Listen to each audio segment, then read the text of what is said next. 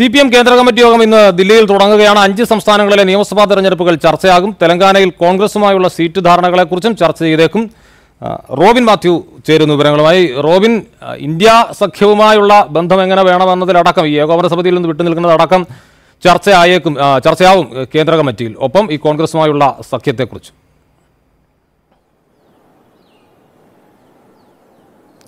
അബ്ജോദ് പ്രധാനമായും ഇത് രണ്ട് വിഷയങ്ങളുമാണ് ചർച്ചയാകാൻ പോകുന്നത്. ഇന്നലെ സി സിക്ക് മുന്നോടിയായിട്ടുള്ള പൊളിറ്റ് ബ്യൂറോ യോഗം ചേർന്നു. അതിലെന്തായാലും ഈ ഇന്ത്യ മുന്നണിയിൽ നിന്ന് ഇന്ത്യ മുന്നണിയിലെ ഏകോപന സമിതിയിൽ നിന്ന് വിട്ടുനിൽക്കുന്നതിനെ കുറിച്ചുള്ള വിഷയം ചർച്ചയായില്ല.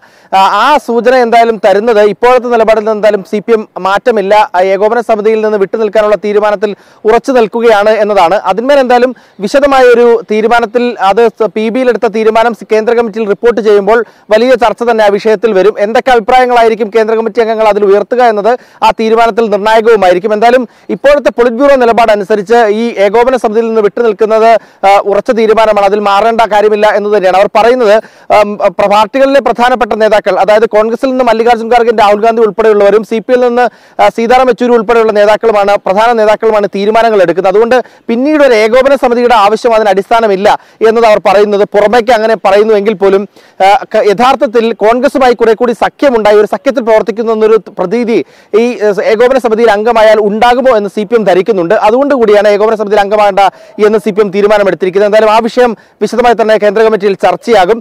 അതോടൊപ്പം അഞ്ച് സംസ്ഥാനങ്ങളെ തെരഞ്ഞെടുപ്പുണ്ട്. തെലങ്കാനയിൽ കോൺഗ്രസുമായി സീറ്റ് ചർച്ചകൾ നടക്കുന്നുണ്ട്. അതിനെക്കുറിച്ചുള്ള വിശദമായ കാര്യങ്ങൾ ചർച്ച ചെയ്യും. ഒപ്പം ഇസ്രായേൽ പാലസ്തീൻ യുദ്ധം വിശദമായി തന്നെ കേന്ദ്ര കമ്മിറ്റിയിൽ ചർച്ചയാവുകയും ചെയ്യും. അതോടൊപ്പമുള്ള രാഷ്ട്രീയ സാഹചര്യങ്ങൾ ഭാരത് വിവാദം അടക്കമുള്ളവയായിരിക്കും കേന്ദ്ര കമ്മിറ്റിയിൽ ചർച്ചയാകാൻ പോവുക.